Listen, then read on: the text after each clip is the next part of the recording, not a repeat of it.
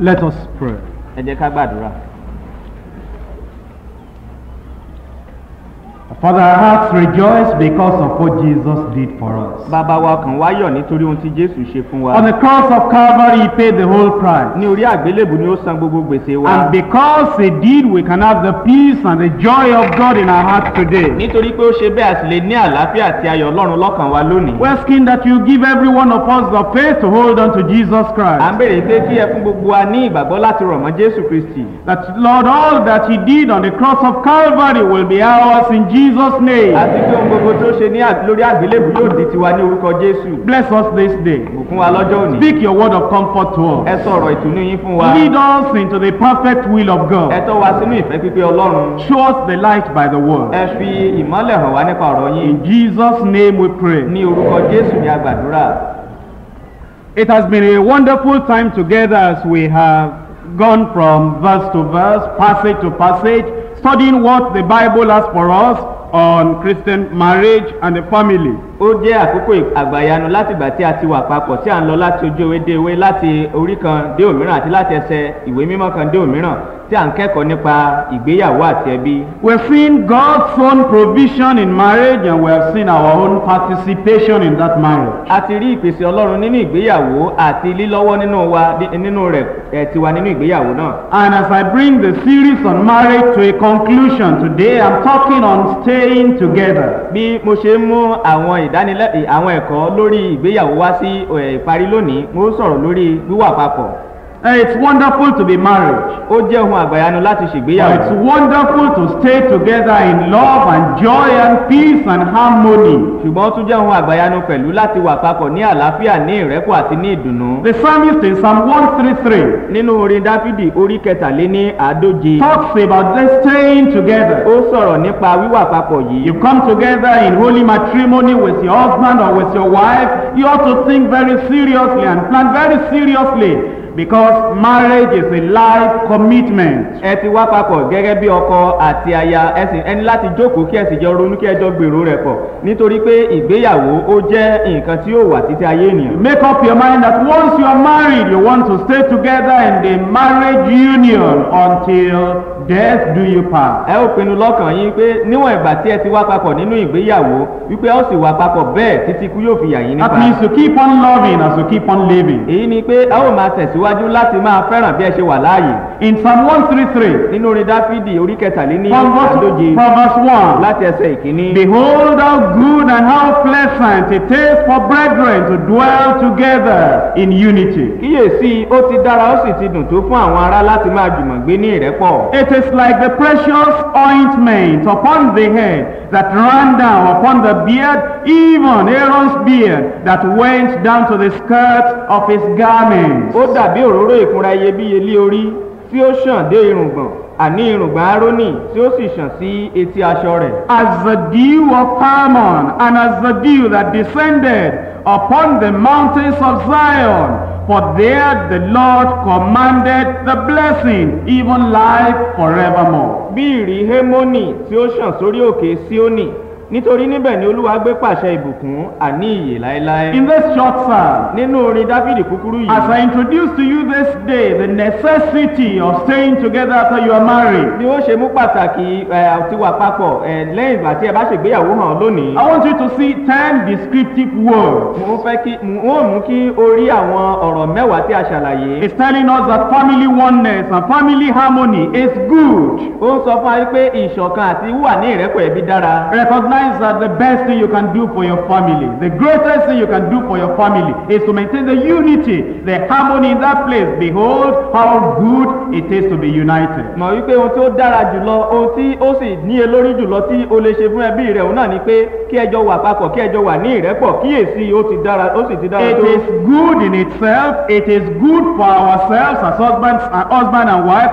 It is good for our children. It is good for the church. It is good for the nation when family family stay together. ó dára fúnra rẹ̀ ó dára fún àwa ó dára fún àwa àti aya wa àti àwọn ọmọ wa ó dára fún ìjọ gẹ́gẹ́ bí ìjọ ọlọ́run láti máa wà papọ̀ ní ìrẹ́pọ̀ It also tells us it is pleasant. ó sì sọ fún wa wípé ó dùn Number one, it is good. ìkíní ó dára Then it gives us pleasure. It is pleasant. ó tún fún wa ní ìdùnnú ó- dùn mọ́ ni You derive the greatest joy and pleasure and enjoyment when the family, when they are staying together. ayọ̀ àti ìdùnnú àti ìgbádùn tó ga jùlọ ni ó lè ní nígbà tí ẹbí bá wà papọ̀ That means you are united in heart. èyí ni pé ẹ ṣọ̀kan nínú ọkàn You are united in your aim and your goal. ẹ ṣọ̀kan ẹ ṣọ̀kan nínú èròǹgbà àti ìlépa yín You are staying together and your spirits are not clashing, but your spirits are living together, moving together, flowing together. ẹ jọ wà papọ̀ kì í ṣe pé ẹ̀mí yín lòdì sí ara wọn ṣùgbọ́n ó wà papọ̀ ó jọ ń ṣàn papọ̀ ó sì jọ ń rìn papọ̀. And it is a pleasant thing when husband and wife will share mutual com- comfort in true fellowship in an atmosphere that is totally free from strife, free from division, and free from conflict. ó sì jẹ́ ohun tí ó dùn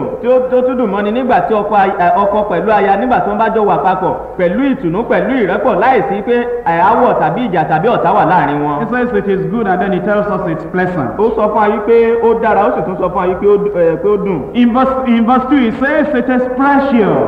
ní ẹsẹ̀ ìkejì ó wípé ó ṣe iyebíye looking for pearls of precious value.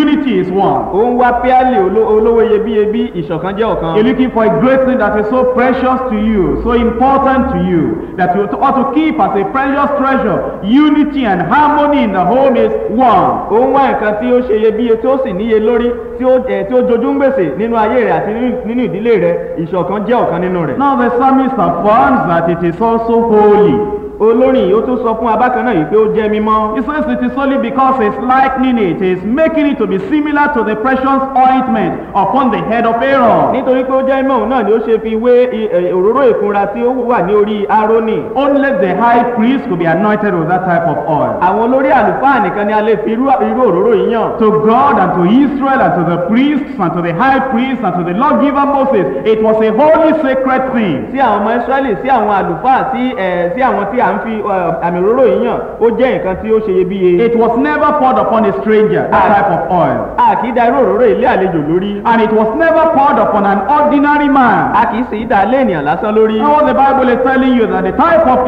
unity and harmony we are talking about between husband and wife is holy, it is set apart, it is not poured upon a stranger, upon an ordinary relationship between you and anybody else. ohun tí bíbélì ń sọ fún ọ ni pé òróró ìfúnra iyebíye eléyìí tó ń bẹ nínú ìgbéyàwó yìí wípé ó ṣe iyebíye tó bẹ́ẹ̀ gẹ́ tó jẹ́ pé pé o kò lè dálé àlejò lórí o kò lè ṣe bó ṣe wọ̀ ọ́ tàbí pé kí o kàn gbé fún ẹnikẹ́ni lásán. There is a precious and holy unity between those who are married, a togetherness, a harmony that can only be found among those who are truly married. àwọn tó bá ṣègbéyàwó ní- nítòótọ́ nìkan ṣoṣo ni a lè rí ìṣọ̀kan tòótọ́ yìí tó sì dára tó sì dùn mọ́ni nínú ì- láàárín ìgbéyàwó wọn. he tells us that this uh, unity is talking about is diffusive. ṣùgbọ́n ó tún sọ fún wa pé irú ìṣọ̀kan eléyìí tí a tún sọ̀rọ̀ nípa rẹ̀ yìí ó lè pín. He says if you put it on the head of uh, Aaron, it will flow down to the rest of the body. èyí ni pé bí o bá dà sí orí arónì yóò tún ṣàn sí àwọn ẹ̀yà ara rẹ̀. The type of unity we are talking about, irú ìṣọ̀kan tí a sọ nípa rẹ̀. the lovely harmony and fellowship we are talking about, irú ìfẹ́ àti ìṣọ̀kan tí a ń sọ nípa rẹ̀. is the one that flows and affects the whole body of the whole family. ó jẹ́ eléyìí tí ó ń ṣàn káàkiri gbogbo ara àti sínú ẹbí The náà. partners, the children, and all beneath its influence are blessed and happy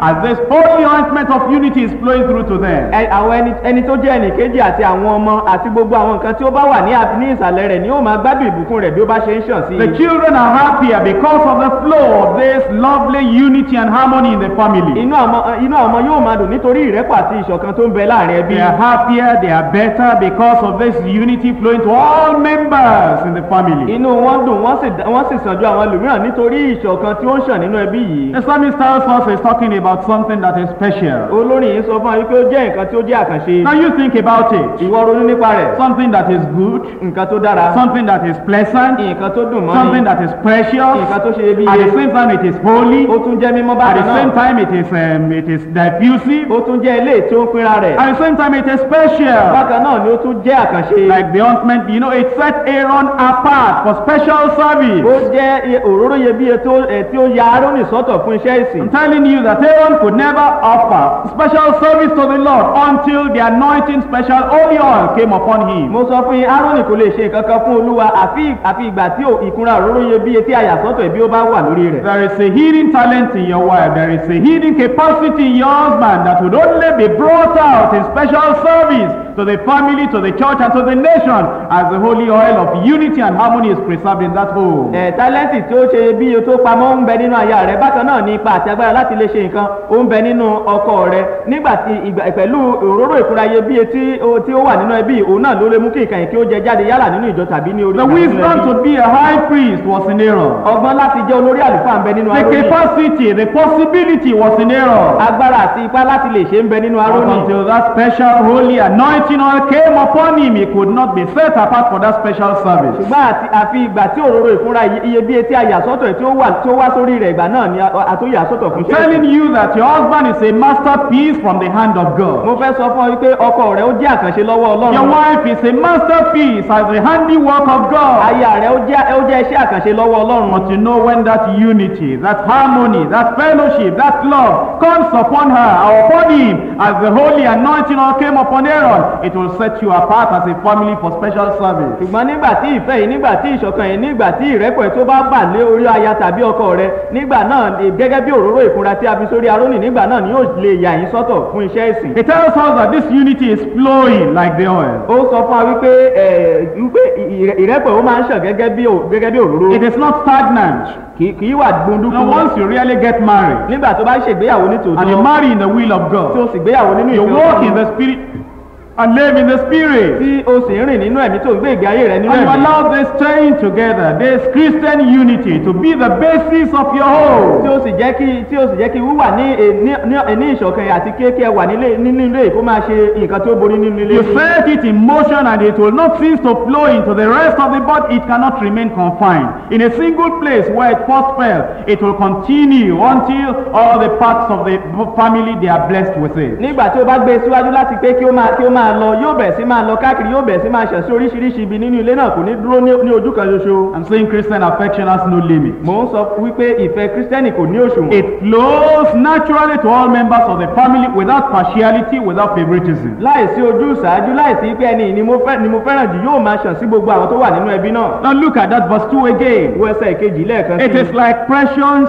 ointment upon the head ó dàbí òróró ìkunra iyebíye that orí ran down upon the beard, even Aaron's beard, that went down to the skirts of his garment. tí ó ṣàn dé ìrùgbà ní ìrùngbà rónì tí ó sì ṣàn sí etí aṣọ rẹ̀. As the dew of Harmon and as the dew that descended. bí ìrì hémónì tí ó ṣàn sórí òkè síónì. So the psalmist says the unity I'm talking about, the harmony I'm talking about, the staying together I'm talking about has a descending influence and effect upon the family. nítorí náà olórin ó ń sọ wípé ìṣọ̀kan tí mò ń sọ nípa rẹ̀ ìrẹ́pọ̀ tí mò ń sọ nípa rẹ̀ wíwàpọ̀ tí mò ń sọ nípa rẹ̀ ó jẹ́ eléyìí tí ó ní ipa tó lè ṣe nǹkan nínú ẹbí. It's a type of affectionate unity that descends from the strong to the weak members of the family. ó jẹ́ irú ìfẹ́ ìṣọ̀kan eléyìí tó máa ń wá láti orí ẹni tó bá lágbára sínú àwọn tí kò lágbára nínú ẹbí náà. And you know, as it descends, it's keep the same quality. The oil is the same quality as it's flowing from the head right to the skirts of the garment. bákan náà ni ó rí nígbà tó bá ti ń ṣàn láti orí wá sí àwọn ẹ̀yà ara àti It sí aṣọ. descends to the lowliest in the family, to the least lovable in the family. ó máa ń ṣàn sí ara ẹni tó rẹlẹ̀ jùlọ àti ẹni tí a kà sí aláì tí kò jẹ́ nǹkan jùlọ nínú ẹbí náà. Now, what does the dew do when it comes upon grass, upon plants in the in the bush? nígbà tí ìrì bá sẹ̀ sí ara ewéko tàbí sí ara igi nínú igbó kí ló máa ń ṣe. It refreshes. ó máa ń tù ú And lára. so the psalmist says that you know this uh, unity and this harmony, the affection in the family is refreshing. nítorí náà olórin yìí sọ wípé ìrẹ́pọ̀ àti ìṣọ̀kan tó ń bẹ nínú ìdílé ó jẹ́ eléyìí tó máa ń tuni lára. And it's as dew, it helps in the life and the growth of the tender plants. Those are the children, the tender plants in the family. bákan náà ni gẹ́gẹ́ bí bí ìrì ṣe ń sẹ̀ ó máa ń ran àwọn ọ̀jẹ̀lẹ̀ tí ó ń bẹ nínú ìdílé náà lọ́wọ́ yìí ni àwọn ọmọ Number 10, ẹ̀kẹwàá. it says that's where the blessing is commanded. ó wípé níbẹ̀ ni agbépàṣẹ ìbùkún. You know, blessing is promised, But blessing becomes commanded when there is unity and harmony and love and affection in the home. ṣùgbọ́n nígbà tí ìṣọ̀kan àti ìfẹ́ àti àti àti ìrẹ́pọ̀ bá ń bẹ nínú ilé ìgbà náà ni a tó pàṣẹ ìbùkún síbẹ̀. Where love reigns, Níbi tí- God reigns. níbi tí ìfẹ́ ti ń jọba ọlọ́run ń jọba. Where hatred is absent, Satan is absent. níbi tí ìkórira kò sí èṣù kò sí níbẹ̀. Where division and strife are gone out of the door, Satan has followed out of the door. níbi tí ìyapa àti ìjà tí ó ti gba tí ó ti kọjá jáde láti ẹnu ọ̀nà èṣù ti gbabẹ̀ jáde náà. Where there is unity, where there is love, where there is aff- affection, God is there. God is reigning there. níbi tí ìrẹ́pọ̀ àti ìṣọ̀kan bá ń bẹ àti ìfẹ́ ọlọ́run máa ń jọba níbẹ̀. God gives special blessings to united, loving families. ọlọ́run sì máa ń fi àkànṣe ìbùkún fún àwọn ẹbí tó bá ṣọ̀kan tí wọ́n sì fẹ́ràn ara wọn. Because we are told in Psalm 133 verse 3, the last part of verse 3, for there the Lord commanded, commanded the blessing, even life forevermore. nítorí a- nítorí ọlọ́run sọ níbẹ̀ nínú ẹsẹ̀ kẹta orí kẹta lé ní àádóje orin dáfídì pé nítorí níbẹ̀ ni olúwa gbé pàṣẹ ìbùkún àní ìyè láéláé. And so that is why we want to really examine the unity that ought to be in the family, which we call staying together. nítorí náà èrèdí rẹ̀ ní tí a fi fẹ́ ṣe àyẹ̀wò ìṣọ̀kan ẹbí ẹ̀ tí a pè ní wíwà papọ̀. And we're putting this message under two uh, sections. à ń fi ẹ̀, iṣẹ́ ìránṣẹ́ à ń pín sí ipa méjì. The divine presentation and the human realization. ẹ̀, fífi fúnni láti láti ọ̀run wá àti mímọ̀ ènìyàn. You see, the intention of God for marriage is that we stay together, èròǹgbà ọlọ́run fún ìgbéyàwó náà ni pé kí a wà papọ̀. is that we live together, kí a jọ máa gbé pọ̀. love kí a together, fẹ́ràn ara wa. pray kí together, a jọ máa gbé do pọ̀. everything kí a máa together. ṣe gbogbo In fact, the papọ̀. Bible says in plain, clear language, we just become one flesh. bíbélì tilẹ̀ sọ gbangba gbàgbà wípé a ó di ara kan. And under the divine presentation for marriage, I'm going to talk of God's plan, Christ preaching, and the Spirit's picture. láàárín láàárín ìfifúnni ìgbé- ìgbéyàwó láti òkè wá n ó sọ̀rọ̀ nípa bí kristi ṣe fúnni àti ìwà níbẹ̀ mímọ́ The plan of God, ètò ọlọ́run the preaching of Christ, ìwàásù kristi and the picture of the Spirit. àti àwòrán ẹ̀mí mímọ́. That was the plan of God kí ni ètò ètò ọlọ́run in our marriage? nínú ìgbéyàwó wa It's in Genesis chapter ó 2. wà nínú ìwé genesis orí kejì Reading there from verse 22. láti ẹsẹ̀ ìkejìlélógún níbẹ̀ Genesis chapter 2, genesis orí kejì verse 22. ẹsẹ̀ ìkejìlélógún. And the rib which the Lord God had taken from man made he a woman and brought her unto the man. olúwa olúwa ọlọ́run sì fi egungun ìhà tí ó mú ní ìhà ọkùnrin náà mọ́ obìnrin ó sì mú un tan ọkùnrin náà wá.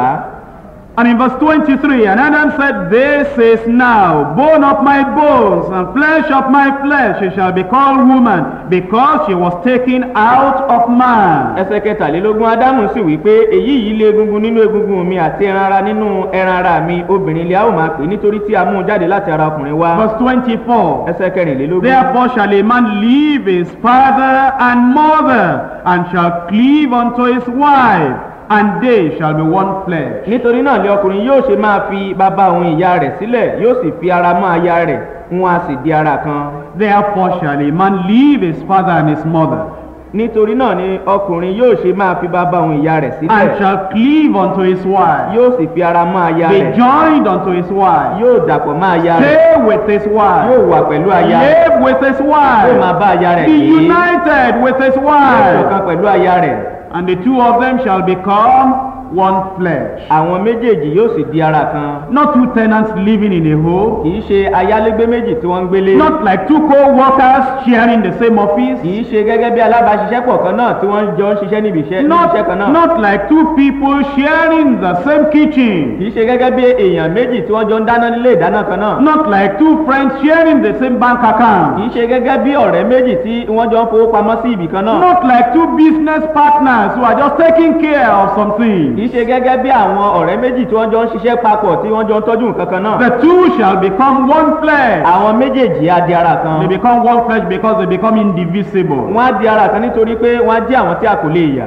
They become one flesh because they become indissoluble. wọ́n á jẹ́ àwọn wọ́n á di ara kan nítorí pé wọ́n jẹ́ àwọn tí a kò lè pín And it means they are there to live together, to love together just for life. èyí ni pé wọ́n kàn wà níbẹ̀ wọ́n á sì máa gbé títí ọjọ́ ayé wọn And you know, in Malachi chapter 2, nínú ìwé málákì orí kejì that's the last book of the Old Testament. èyí ni ìwé tó kẹ́yìn májẹ̀mú láéláé Malachi chapter 2, málákì orí kejì reading from verse 13. láti ẹsẹ̀ ìkẹtàlá And this have ye done again, covering the altar of the Lord with tears, with weeping, and with crying out, in so much that he regarded not the offering anymore, or receiveth it with goodwill at your hand.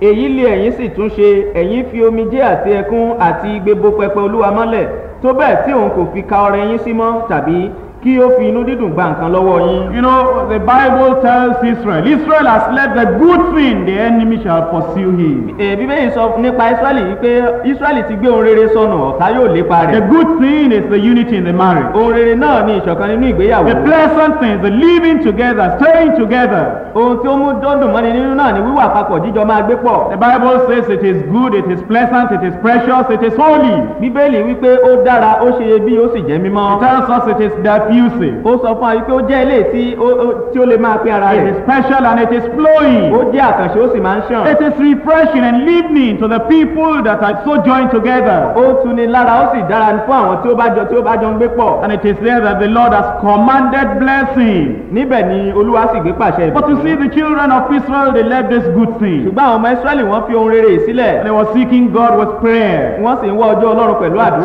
tears and weeping and strong crying. pẹ̀lú omijé àti ẹkún àti igbe. And God says, I will not answer your prayer, I will not hear you. ọlọ́run sì wípé kò ní gbọ́ tí yín kò ní dáhùn àdúrà Verse yín. 14, yet ye say, Wherefore, what have we done? ẹsẹ̀ kẹrìnlá ṣùgbọ́n ẹ̀yin wípé nítorí kíni. Because the Lord has been witness between thee and the wife of thy youth, against whom thou hast dealt treacherously, yet is she thy companion, the wife of the covenant. nítorí olúwa ti ṣe ẹlẹ́rìí láàárín ìwọ àti láàárín aya ìwé rẹ ẹni tí ìwọ ti ń hùwà ẹ̀tàn sí bẹ́ẹ̀ lé ẹgbẹ́ rẹ lé òun ṣàìṣe àti aya májẹ̀mú rẹ. You know, they are dealt treacherously. wọ́n hùwà wọ́n hùwà ẹ̀tàn. Some of these men had left their wives. àwọn mìíràn nínú àwọn ọkùnrin wọ̀nyí ti fi aya wọn sílẹ̀. And you know, they were just praying and say, Oh God, you know, I'm free now. Can you choose another person for me? wọ́n kàn wá ń gbàdúrà nísinsìnyí ọlọ́run mọ̀ pé mo ti wà lómìnira nísinsìnyí ṣé o lè yan ẹlòmíràn fún mi. And God said, I have been witness between you and your wife. ọlọ́run sì wípé mo ti jẹ́ ẹlẹ́rìí láàárín ìwọ àti aya rẹ. Already you have dealt treacherously against her. You treated her. ó ti hùwà ẹ̀tàn sí ìyàwó hùwà sí bí kò ṣe yẹ. You become divided. ẹ ti pínyà. And you become ẹ separated. sì ti yára yín nípa. And you become ẹ divorced. sì ti kọ ara yín sílẹ̀. Yet in my sight is she thy companion and the wife of thy covenant. síbẹ̀ lójú mi ẹgbẹ́ rẹ lé òun ṣàìṣe àti aya májẹ̀mú rẹ. That is, I have not agreed with the separation. èyí ni pé n kò gbà pẹ̀lú ìpínyà You náà. can never bring God into agreement with separation, with divorce, or with division, with conflict in the family. o kò lè mú kí ọlọ́run kó lóhùn ì- nínú ìpínyà tàbí ìjà tàbí áwọ̀ tó wà nínú ẹbí. In verse 15, nínú ẹsẹ̀ kẹẹ̀ẹ́dógún. did he not make one? òun kò ha ṣe- kò ha tí ì ṣe ọ̀kan. Yet had he the residue of the Spirit, and wherefore one, that he might seek a godly seed. bẹ́ẹ̀ ni òun ní ìyókù ẹ̀mí èyí sì ti ṣe èyí sì ti ṣe jẹ́ ọ̀kan kí òun bá lè wá irú ọmọ bíi ti ọlọ́run. Therefore, take it to your spirit. Let none of you deal treacherously against the wife of his youth. nítorí náà ẹ tọ́jú ẹ̀mí yín ẹ má sì jẹ́ kí ẹnikẹ́ni hùwà ẹ̀tàn sí aya ìwé rẹ̀. Who is the wife of his youth? ta ni aya ìwé rẹ̀? The first wife you ever married. ìyàwó àkọ́kọ́ tí o bá kọ́ That fẹ́ had never married another man tí before. kò tí ì fẹ́ ọkọ mìíràn rí. That's the Bible calls her the wife of thy covenant in verse 14. eléyìí ni ìwé mọ́ pè ní aya májẹ̀mú rẹ̀ nínú ẹsẹ̀ kẹrìnlá. In verse 15, he calls her, you know, that's why the wife of his nínú youth. ẹsẹ̀ kẹẹ̀ẹ́dógún pè ní aya ìwé rẹ̀. Verse 16. ẹsẹ̀ kẹrìndínlógún. See this, and this is just marvelous. wo èyí ó sì jẹ́ You know, some people don't know the mind of God about marriage. àwọn mìíràn wọn kò mọ ọkàn ọlọ́run nípa But ìgbéyàwó. verse 16 says, For the Lord, the God of Israel, says that he hated putting away. nítorí olú ẹ nítorí olúwa ọlọ́run israẹli wípé òun kórìíra ìkọ̀sílẹ̀. God hates divorce. ọlọ́run kórìíra He ìkọ̀sílẹ̀. hates ó separation. kórìíra ìyapa. For one covereth violence with his garment, says the Lord of hosts. Therefore, take it to your spirit, that ye deal not treacherously ẹnìkan fi ìwà ipá bu aṣọ rẹ̀ mọ́lẹ̀ olúwa àwọn ọmọ ogun wí nítorí náà ẹ ṣọ́ ẹ̀mí yín kí ẹ má sì ṣe kí ẹ má ṣe hùwà ẹ̀tàn. That's the plan of God for marriage. eléyìí ni èrò ètò ọlọ́run fún That ìgbéyàwó. once those two people come pé together, nígbà tí àwọn èèyàn méjì bá wá papọ̀ as long as they live, they shall love one another. níwọ̀n ìgbà tí wọ́n bá wà láàyè wọn ò fẹ́ràn ara As wọn. long as they live, they shall be together. níwọ̀n ìgbà tí wọ́n bá wà láàyè wọn ò jọ máa gbé pọ̀. In Romans chapter 7, nínú ìwé róòmù orí keje reading from verse 1 to verse 3. láti ẹsẹ̀ ìkíní dé ìkẹta. Know ye not, brethren, for I speak to them that know the law, the mind of God, the intention of God.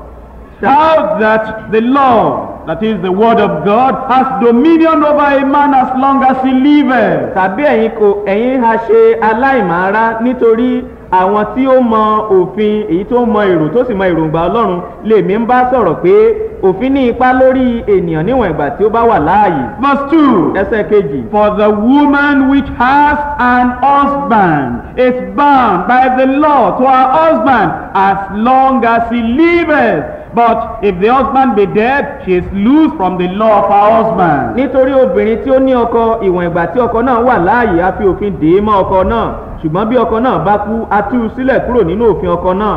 Now, when you have been married, as long as you're living and as long as your husband is living or your wife is living, stay together. níwọ̀n ìgbà tó bá ti ṣègbéyàwó tí ọkọ rẹ̀ wà láàyè tí aya rẹ̀ wà láàyè ẹjọ́ máa gbé pọ̀. And in verse 3, ẹsẹ̀ kẹta sorry, last part of verse 2.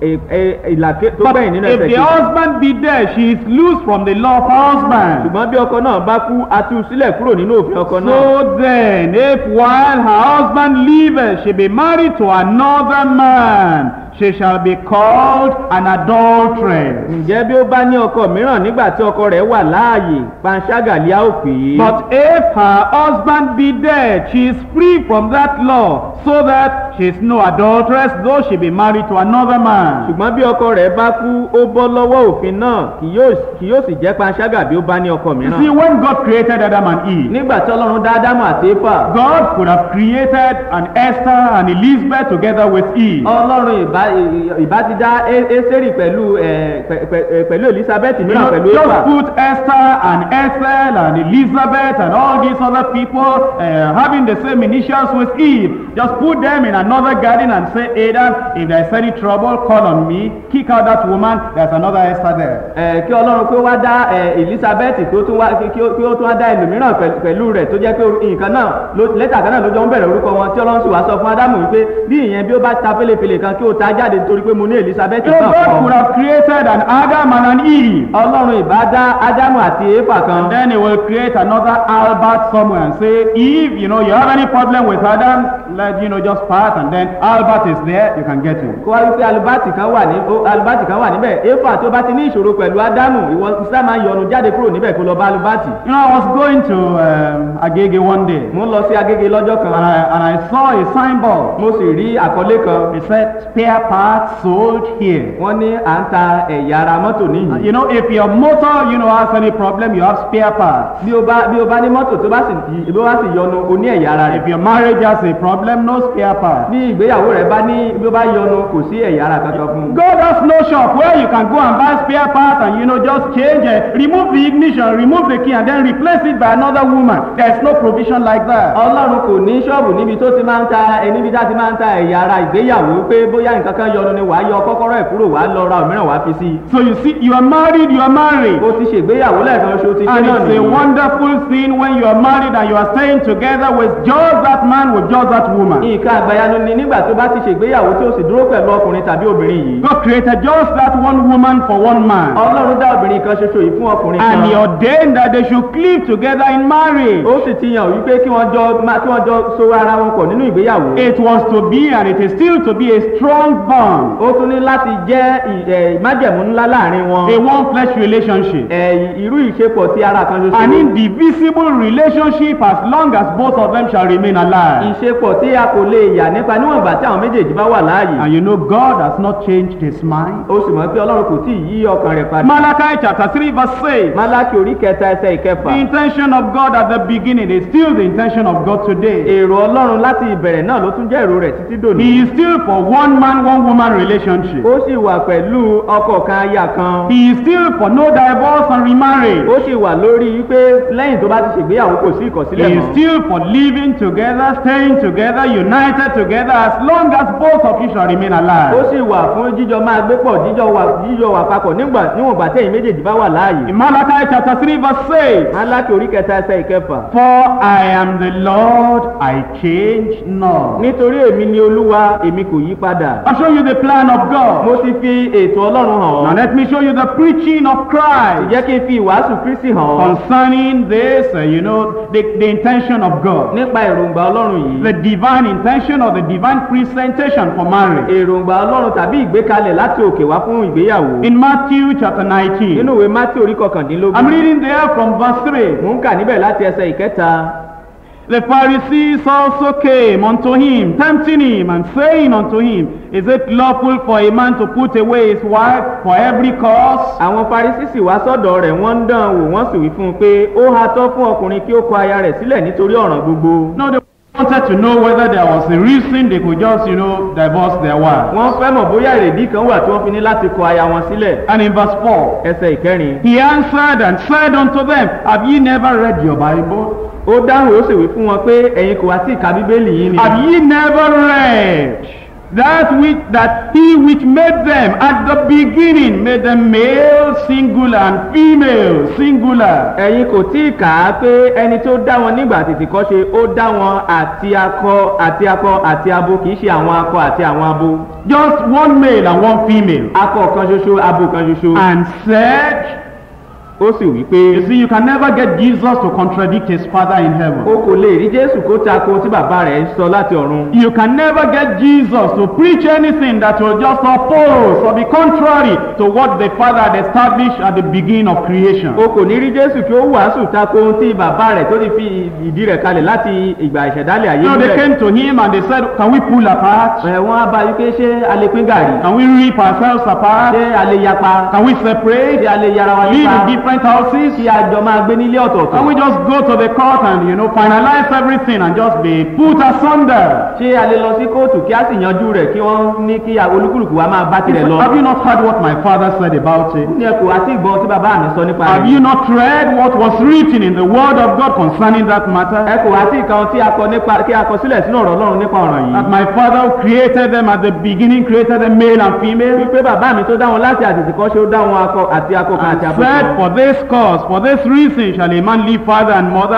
and shall cleave to his wife, and they twain, only two, shall be one flesh. ó sì wípé nítorí èyí lé ọkùnrin yóò ṣe fi bàbá àti ìyá rẹ̀ sílẹ̀ yóò fà má aya rẹ̀ àwọn méjèèjì á sì di ara kan. Wherefore they are no more twain, but one flesh. nítorí náà wọn kì í ṣe méjì mọ́ bí kò ṣe ara kan. What therefore God has joined together, let not man put asunder. nítorí náà ohun tí ọlọ́run bá so ṣọ̀kan kí ènìyàn kí ó má ṣe yà wọ́n. Reading in 1 Corinthians chapter 7. mò ń kà nínú kọ́rìntì kìíní orí keje. And I'm reading there in verses 10 and 11. mò ń ka ẹsẹ̀ ìkẹwàá àti ìkọkànlá níbẹ̀.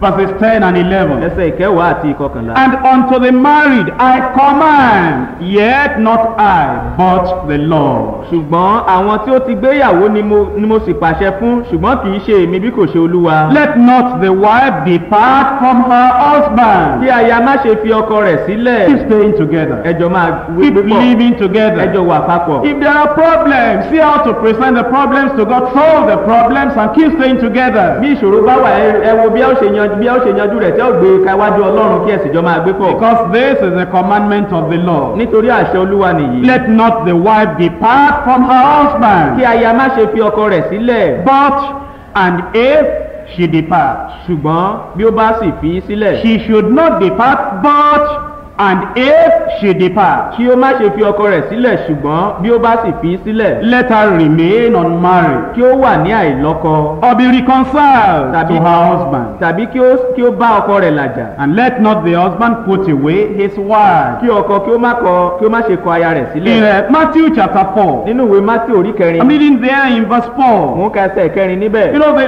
the devil may come to tempt you. èṣù lè wá láti dán ọ wò The devil may come to tell you now, rip that thing apart, divide that one flesh, and kick that woman away, throw that man away. Èṣù lè máa sọ fún ọ wípé ìwọ pín nǹkan nì ìwọ pín ara ẹ pín ara nì kí o sì sọ obìnrin nì sígbó kí ó máa bá tirẹ̀ lọ. Now the devil came to the Lord Jesus Christ. Èṣù tọ̀ jésù kristu olúwa wá. And tempted him ó sì dán to wò. go against the plan of God for his life. láti lòdì sí ètò ọlọ́run fún ìgbésí ayé rẹ̀. And in verse 4, nínú ẹsẹ̀ ìkẹrin. But he answered and said, It is written, Man shall not live by bread alone, but by every word that proceedeth out of the mouth of God. ṣùgbọ́n ó dáhùn wípé a ti kọ̀wé rẹ̀ pé ènìyàn kì yóò wà láàyè nípa àkàrà nìkan bí kò ṣe nípa gbogbo ọ̀rọ̀ tí ó ti ẹnu ọlọ́run And jáde what wá is the what is the word proceeding out of the mouth of God concerning your marriage? kí sì ni ọ̀rọ̀ tó ti ẹnu ọlọ́run jáde wá nípa ìgbéyàwó rẹ̀ I have been witness between you and the wife of your youth. Therefore take it that you deal not treacherously against your wife. mo ti jẹ́ ẹlẹ́rìí láàárín ìwọ aya ìwé rẹ láàárín ìwọ aya májẹ̀mú rẹ nítorí náà má ṣe hùwà ìtàn sí ìgbé- ìwà ìwé rẹ. Live by the word that proceedeth out of the mouth of God. máa gbé pẹ̀lú ọ̀rọ̀ tó ti ẹnu ọlọ́run jáde wá. What is the word proceeding out of the mouth of God for your kí ni marriage? ọ̀rọ̀ tó ti ẹnu ọlọ́run jáde wá fún ìgbéyàwó rẹ. This cause shall a man leave his father and his mother and shall cleave unto his wife, and they two shall be one flesh. nítorí èyí ni ọkùnrin yóò ṣe fi bàbá àti ìyá rẹ̀ sílẹ̀ yóò sì fà máa ya rẹ̀ àwọn méjèèjì yóò sì di ara kan. So you can see the preaching of Christ com- uh, confirms the plan of the provision of God. nítorí náà lè rí ìwàásù jésù kristi yìí pé ó fi ìpèsè ọlọ́run àti ètò ọlọ́run múlẹ̀. That your marriage shall stand as long as both of you shall continue to live. wípé ìgbéyàwó rẹ yóò dúró níwọ̀n ìgbà tí ẹ̀yin méjèèjì bá wà láàyè. And again, we're told that marriage is a one man, one woman relationship. a sì sọ fún wa pé ìgbéyàwó jẹ́ ìbáṣepọ̀ láàárín ọkùnrin kan àti obìnrin kan. It's a one man, one woman life commitment. ó jẹ́ ìfẹ́ ara ẹni jì títí láé láàárín ọkùnrin àti It's obìnrin an kan. indissoluble union.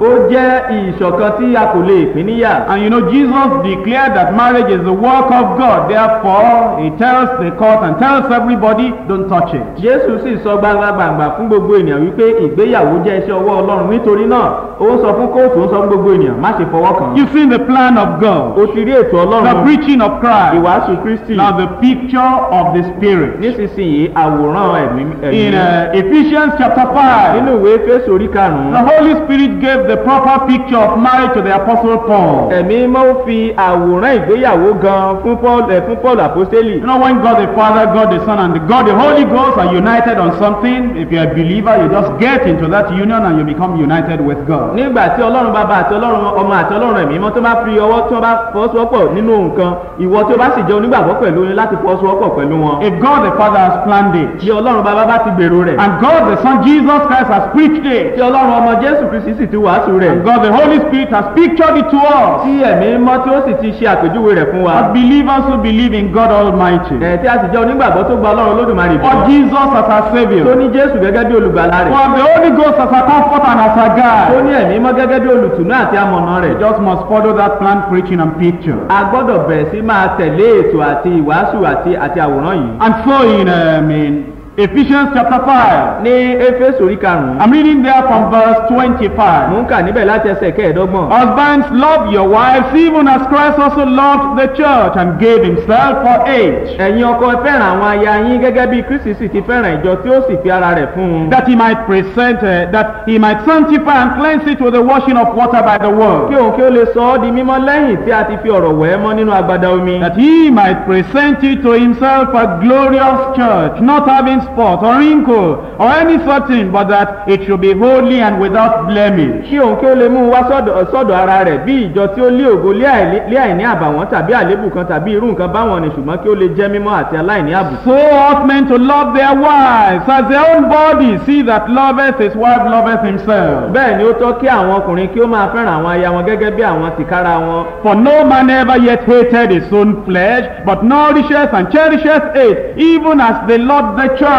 Nítorí kò sí ẹni tí ó tí ì kórìíra ara rẹ̀ bí kò ṣe pé kí ó máa bọ ọ kí ó sì máa ṣìkẹ́ rẹ̀ gẹ́gẹ́ bí kristi ti ń ṣe sí ìjọ. For we are members of his body, of his flesh, and of his bones. nítorí pé àwa lé ẹ̀yà ara rẹ̀ àti ti ẹran ara rẹ̀ àti ti egungun ara You rẹ̀. remember what Adam said? ó rántí ohun tí This ní. now is bone of my bone, flesh of my flesh. èyí yìí ni egungun nínú egungun mi ẹran ara nínú ẹran ara And mi. it says the church are members of the body of ó sì Christ. wí pé ìjọ jẹ́ ẹ̀yà ara kristi. And you cannot divide Christ and the church. kò sì lè pín ìjọ àti kristi In the same way, the husband and the wife, they are one flesh, and you cannot divide the husband and the wife. lọ́nà kan náà ọkọ àti aya wọn jẹ́ ara kan náà kò lè pín wọn. And it says, For this cause, in verse 31, shall a man leave his father and mother, and shall be joined unto his wife, and they two shall be one flesh. ẹsẹ̀ kọkànlélọ́gbọ̀n nítorí èyí ni ọkùnrin yóò ṣe fi bàbá àti ìyá rẹ̀ sílẹ̀ òun ó sì dàpọ̀ mọ́ aya rẹ̀ àwọn méjèèjì á sì di ara kan. In Genesis chapter 2, God the Father talked about one flesh. ní genesis orí kejì ọlọ́run bàbá sọ nípa ara kan. In Matthew chapter 19, verses 4 to 6, God the Son talked about the one flesh relationship. nínú ìwé mátí orí kọkàndínlógún láti ẹsẹ̀ ìkẹrin títí dé ìkẹfà ọlọ́run ọmọ sọ nípa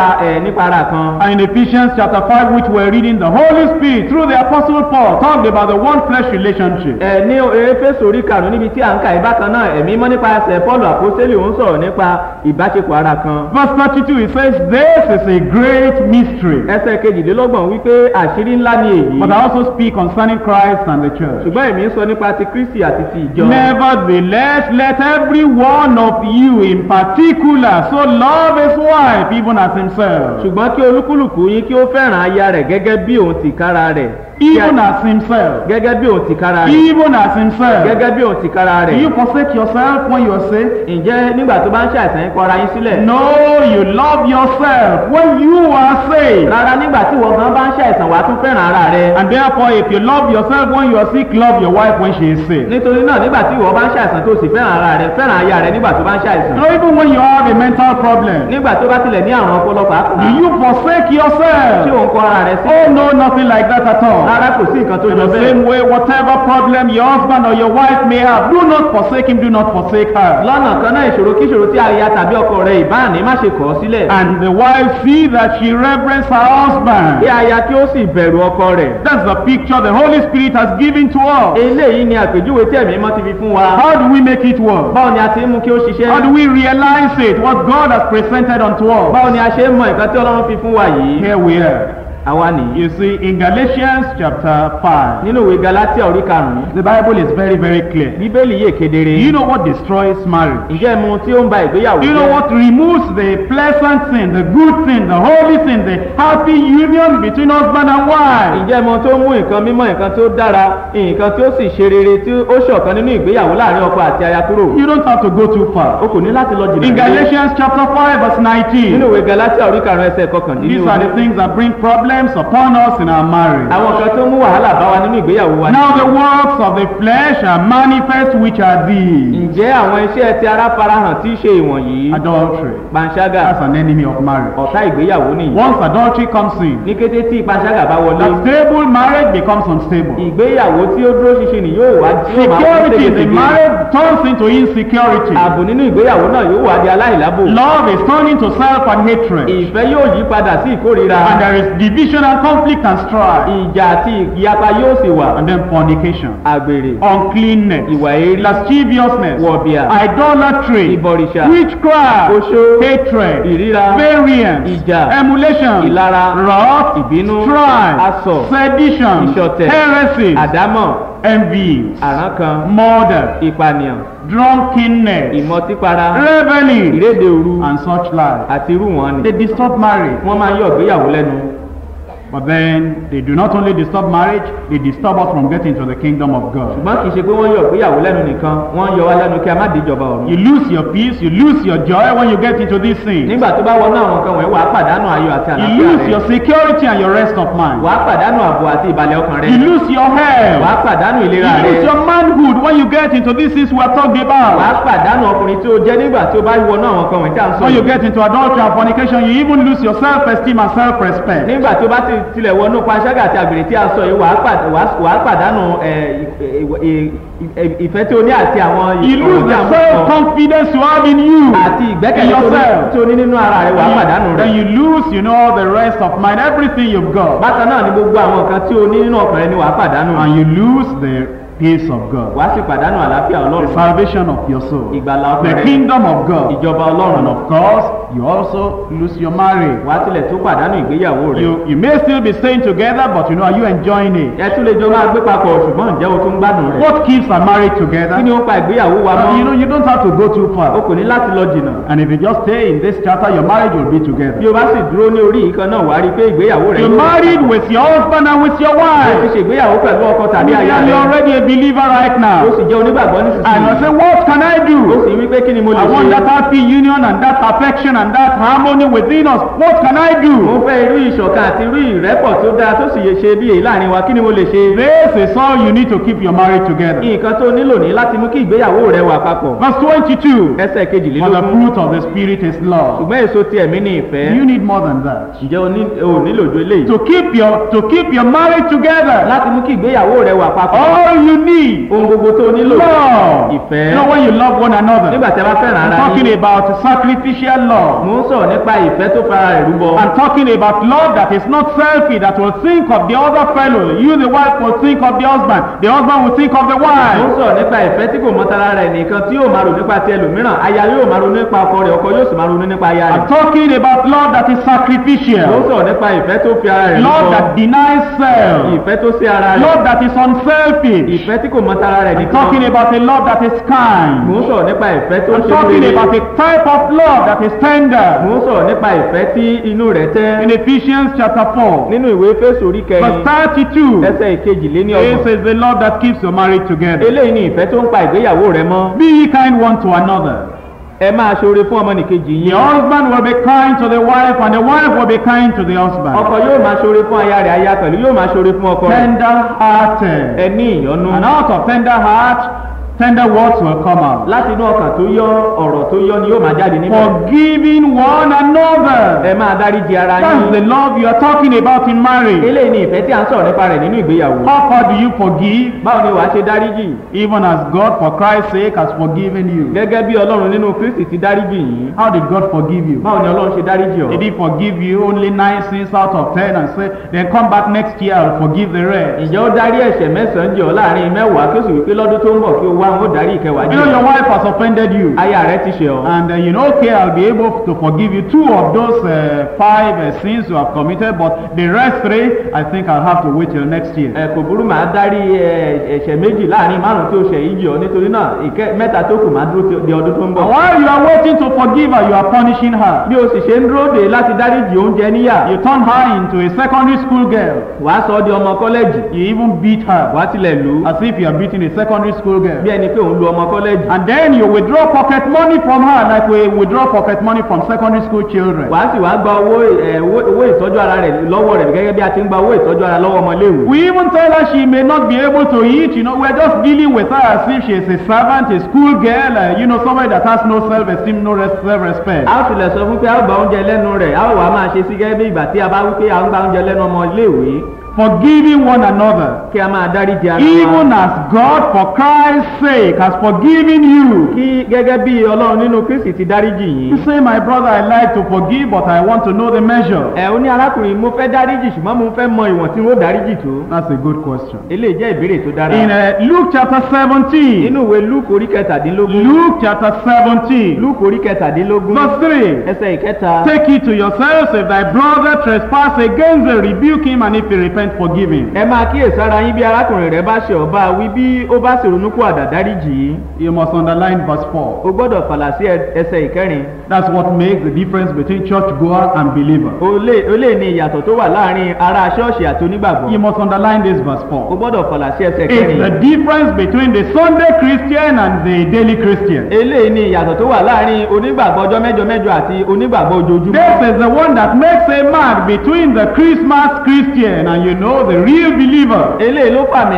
tó fàmì yàtọ̀ sáàrin àwọn onígbàgbọ́ kérésì àti àwọn onígbàgbọ́ You want tòótọ́ to know the difference between a religious fellow and a righteous o fellow. fẹ́ mọ ìyàtọ̀ tó wà láàárín ẹlẹ́sìn àti olódodo ènìyàn Verse 4 will tell you the difference. ẹsẹ̀ kẹrin yóò sọ ìyàtọ̀ rẹ̀ You fún want to know whether your wife is a Christian? o fẹ́ mọ̀ bóyá aya rẹ jẹ́ bí Verse 4 will tell you. ẹsẹ̀ kẹrin yóò sọ You want to fún know whether your husband is a real believer, following the Lord, obeying the o Lord. fẹ́ mọ̀ bóyá ọkọ rẹ jẹ́ onígbàgbọ́ tòótọ́ tí ó ń gbọ́ràn sí olúwa lẹ́nu tó ń tẹ̀lé olúwa Verse 4 will tell you. ẹsẹ̀ kẹrin yóò sọ What fún does ọ it say? kí ló sọ Let me read it to you. jẹ́ kí n kà á sétí gbọ́ rẹ. If he trespass against thee seven times in a day, please do me a favor, underline in a day.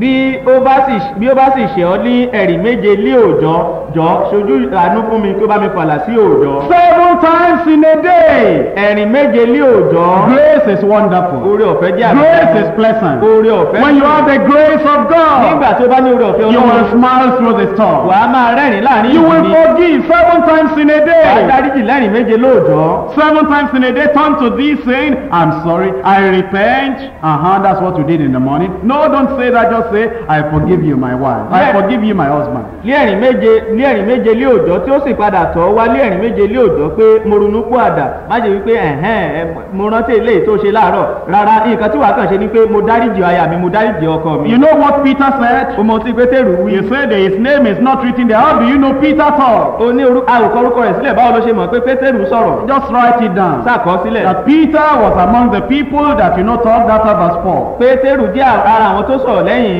ẹsẹ̀ ìkẹrin. When we get to heaven, I want you to do something. Go to Peter and say, Bro, preach that you know you are, the, you are one of the people that said this. nígbà tó bá dọ̀rùn ìwọ lọ bá pétérù kó sọ pé bùrọ̀ sọ pé o jẹ́ nínú àwọn tó wà tó sọ̀rọ̀ nígbà tí à ń sọ̀rọ̀ yìí. Peter was married. pétérù ṣègbéyàwó. And Jesus said, when you offended seven times in a day, forgive. And Peter was among the people, the apostles said, unto the Lord, ah, increase our faith. ẹ ní ní pétérù wà lára àwọn tí ó wà níbẹ̀ nígbà tí jésù ń sọ̀rọ̀ yìí wípé ní- nígbà tí ẹnìkejì rẹ̀ bá ṣe ọ ní ẹ̀rìn méje ní òòjọ́ tó bá sì tọ́ wá kí ó dáríjì Seven times in a day. ẹ̀rìn méje ní òòjọ́ And you realize when you forgive, you forget. wá sì mọ̀ pé nígbà tó bá dáríjì wá gbàgbé All the seven times of yesterday, that one is washed away. gbogbo ìgbà méje àná a ti wẹ̀ sọnù And today, lónìí pẹ̀lú this is, you know, just going to uh, about 10.30. ó sì mọ̀ pé nǹkan bí aago mẹ́wàá àbọ̀ ló fẹ́ lù Maybe she has on- only offended you two times. bóyá ẹ̀ méjì pé lásán ló ìṣẹ̀ ọ́ And you know she is still going to the limit of seven. ẹ̀ ìkeje ló sì ń lọ The toast in the morning is born. nǹkan tí ń sè láàárọ̀ jó The water is not in the bathroom in time. omi kò tètè dé bá Your lùwẹ̀ clothes is not ironed. a kò lọ aṣọ rẹ And the children, you know, the children are not well cared kò for. sì tọ́jú àwọn ọmọ dáadáa And she is not doing what she ought to do for kò you. sì ṣe àwọn nǹkan tó yẹ kó ṣe fún ọ How many times in a day? nígbà mélòó lóòjọ́ Just keep on forgiving. sáà máa dáríjì In fact, Jesus, uh, you know, surprises uh, these people. jésù tilẹ̀ ya àwọn ènìyàn wọ̀nyí lẹ́nu Matthew chapter 18. mátí orí kejìdínlógún Love is what will keep your marriage together. ìfẹ́ ni ohun tí yóò pa ìgbéyàwó rẹ mọ́ love that will never criticize. ìfẹ́ tí kò ní bẹnu àtẹ́lu ni In Matthew chapter 18, mátí orí kejìdínlógún verse 21, ẹsẹ̀ here we kọkànlélógún come. òun nìyí Then came Peter to him and said, Lord, how oft shall my brother sin against me and I forgive him till seven times? nígbà náà ni pétérù tọ̀ wá wípé olúwa nígbà mélòó lè arákùnrin mi yóò ṣẹ̀mí tí èmi ó sì fi jì í títí di ìgbà méje Oh, yes, I remember you told us seven times in a day. Is that the whole limit of everything? bẹ́ẹ̀ ni mo rántí ìgbà tó sọ fún wa pé lẹ́rìn méje lóòjọ́ ṣé ó tán nìyí And Jesus said that was when I was talking about a day. jésù sọ ó sì dáhùn pé àní ìgbà tí mo sọ̀rọ̀ nípa òòjọ́ nìyí Jesus says unto him, I say not unto thee until seven times, but until seventy times seven. Wonderful God. jésù jésù wí fún un pé èmi kò wí fún ọ pé títí di ìgbà méje bí kò ṣe títí di ìgbà àádọ́rin méje á ọlọ́run ìyanu. If everybody obeyed that sentence, there will be no more bí divorce. gbogbo ènìyàn bá gbọ́ràn sí gbólóhùn yìí lẹ́nu kò ní sí ìkọ̀sílẹ̀ mọ́. Seventy times seven. ìgbà àádọ́rin méje Do you know anybody that has ever offended you seventy times seven? ìjọ ti rántí ẹnìkan tó ṣe ọ ní ìgbà àádọ́rin méje rí. You know, if you go to God and say, I'm having a hard time with my wife. bí o bá tẹ ọlọ́run lọ tó wí pé "Ah, ọlọ́run nǹkan le pẹ̀lú èmi She has ìyàwó mi." offended me so much, I just cannot live together with her ó anymore. ṣẹ̀mí tó bẹ̀rẹ̀ gẹ́ tó jẹ́ pé n kò lè bá a gbé mọ́. And God says, it's all right. Can you tell me all the all the things she has done? ọlọ́run sì wí pé "Ẹ, ṣé o lè sọ gbogbo nǹkan tó ṣe fún You mi. say, oh God, number one, she did this. ó ní ọlọ́run èkíní ó ṣe lé Number two, she did this. èkejì ó ṣe lé Number three, she did this. Ẹlẹ́ẹ̀kẹta ó ṣe eléyìí By the time you get to 20 or 30, you say, God, I don't remember any other. nígbà tó bá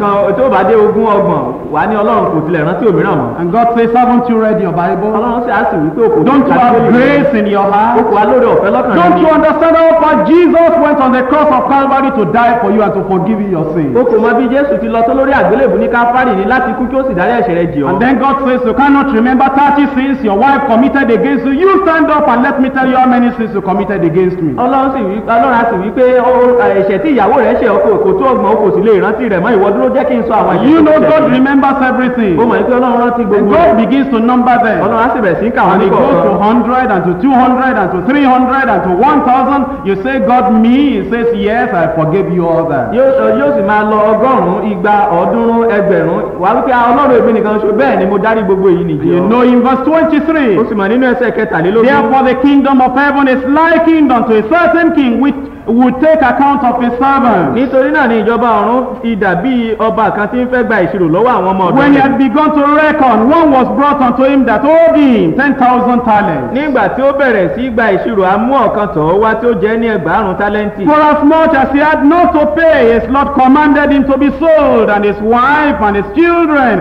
and all that he had, and payment to be made. ǹjẹ́ bí kò sí ní ohun tí yóò fi san olúwa rẹ̀ pàṣẹ pé kí a tà á àti obìnrin rẹ̀ àti àwọn ọmọ rẹ̀ àti gbogbo ohun tí ó ní kí a sì san gbèsè The náà servant fell therefore down and worshipped him, saying, Lord, have patience with me, I will pay thee all. nítorí náà lé ọmọ ọ̀dọ̀ náà wólẹ̀ ó tẹríba fún ó wípé olúwa mú sùúrù fún mi èmi ó sì san gbogbo rẹ̀ fún Then ọ. the Lord of that servant was moved with compassion and loosed him and forgave him the debt. olúwa olúwa ọmọ ọ̀dọ̀ náà sì ṣàánú fún ó tú sílẹ̀ ó sì ó fi gbèsè náà jì í But the same servant went out, ṣùgbọ́n nígbà tí ọmọ ọ̀dọ̀ náà jáde lọ found one of his fellow ó servants, sì rí ọ̀kan nínú àwọn ọmọ ọ̀dọ̀ ẹgbẹ́ rẹ̀ which owed him an hundred pence. tí ó jẹ́ ní ọgọ́rùn-ún owó And he ìjẹ laid hands on him, ó gbé ọwọ́ rẹ̀ lé took him by the throat, saying, Pay me that thou owest. ó fún un lé ọrùn ó wípé san gbèsè tí ìwọ jẹ mí His fellow servant fell down at his feet and besought him, saying, Have patience with me, I will pay thee all. ọmọ ọ̀dọ̀ ẹgbẹ́ rẹ̀ kúnlẹ̀ lẹ́bàá ẹsẹ̀ rẹ̀ ó sì ń bẹ̀ ẹ́ wípé mú sùúrù fún mi èmi ó sì san gbogbo rẹ̀ fún ọ. If another person is kneeling down before you, àbí ẹlòmíràn bá ń kúnlẹ̀ níwájú rẹ̀ what do you want him to do kí again? ló tún fẹ́ kó Your ṣe? wife is saying, Oh, my husband, I'm sorry. What do you want her to do ìyàwó again? rẹ̀ wípé rárá ọkọ mi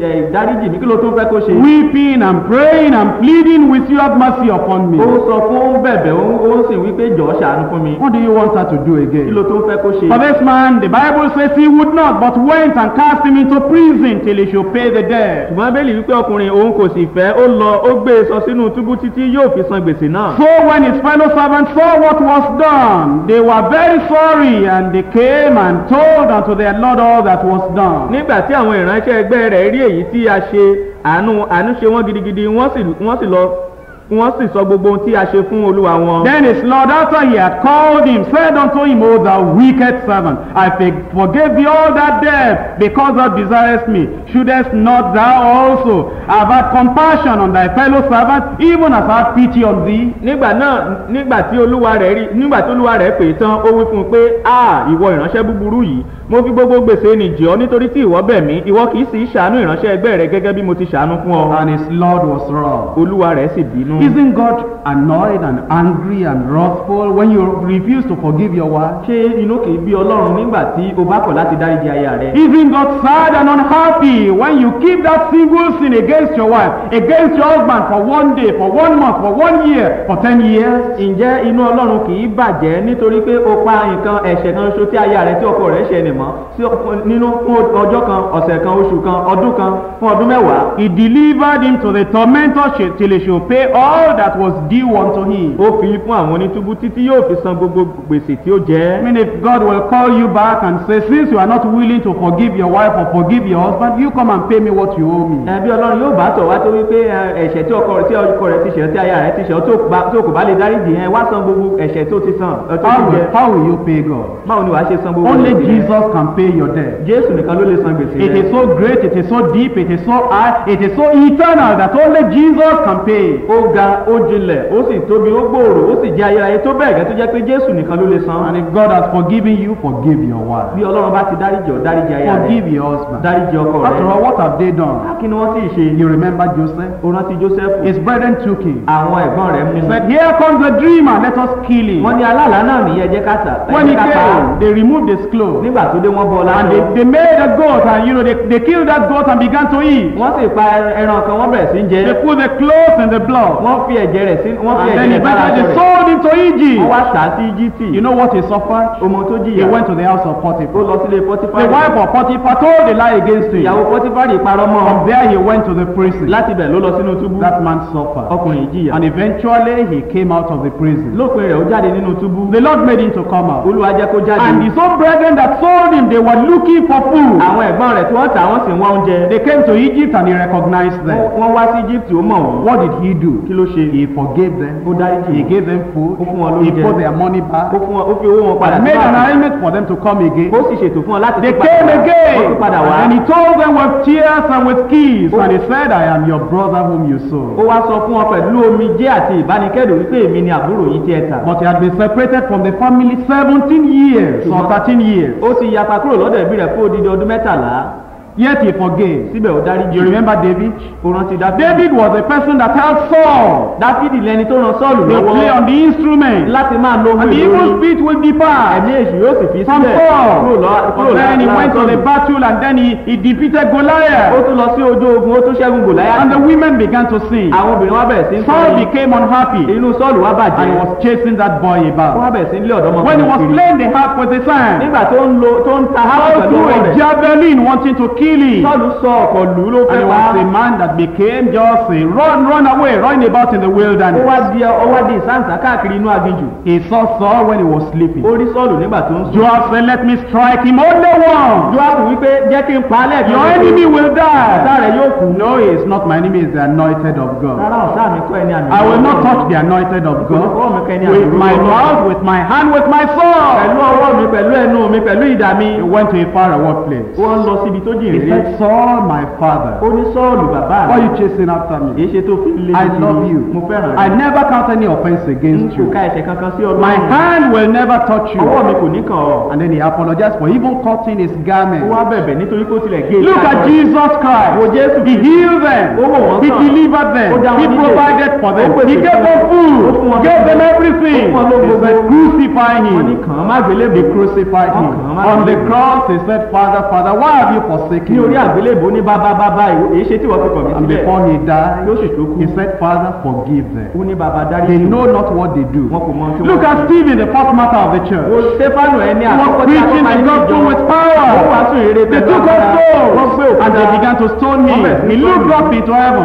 Father, count not this sin against bàbá má ṣe ka ẹ̀ṣẹ̀ sí wọn What lọ́rùn has your wife kí done? ni ìyàwó rẹ̀ Kill her. tó fẹ́ pa What has your husband Kí lọkọ done rẹ̀ that ṣe? you want to tó fẹ́ divorce? kọ̀ sílẹ̀ Jesus said, jésù wípé forgive dáríjì 70 times 7 nígbà àádọ́rin méje Stay together. ẹjọ́ wà papọ̀ Live together. Ẹjọ́ máa gbé pọ̀. Raise your children together.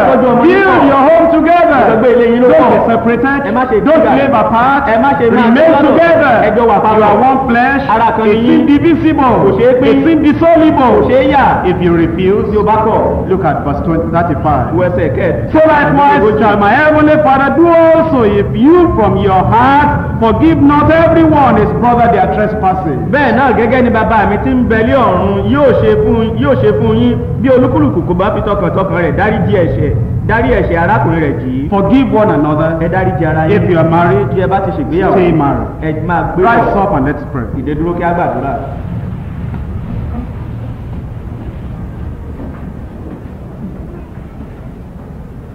Unity in the family is wonderful. ìṣọ̀kan nínú ẹbí jẹ́ àbàyà So precious. ó ṣe So iyebíye holy and ó special. jẹ́ mímọ́ àti àkànṣe It's flowing and descending.